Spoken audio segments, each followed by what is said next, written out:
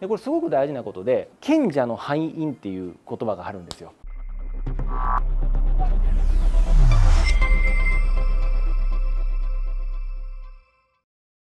賢者賢い人の負ける理由なんですね。賢者の敗因ってあるんですね。これ何かというと思考が先行すると行動が止まるからって言われてるんですよね。常にね人生とか勝負とかにね勝つ人っていうのは勝つ人この人はね行動する人なんです行動した人です。だから成功者っていうのは具体的に動いた人なんですよね。これはどうだこうだって言って動かない人っていうのは基本的には結果が出せないってことなんですよ。で思考が先行しすぎると本当にね辛いのがうつ病になっちゃったりもしますし動きが止まっちゃったりします。で下手したらやめちゃったりするんですよ。その職種を、うん、だからやっぱりね考え込む人っていうのはやめがちなんです。こ営業職っていうのは。基本的にね理論的にはね難しいことをやってるっていうのが営業職なんですよ。私もね一応家庭教師と学習教材の教材販売の訪問販売会社をやってるんですよ。で大体50万100万の学習教材っていうのを売るんですけど本屋さんで1000円で売ってる問題集を1冊3万円とかで売るんですよ。5冊15万とかで売ったりして全部でセットで100万とかするんですけど普通で考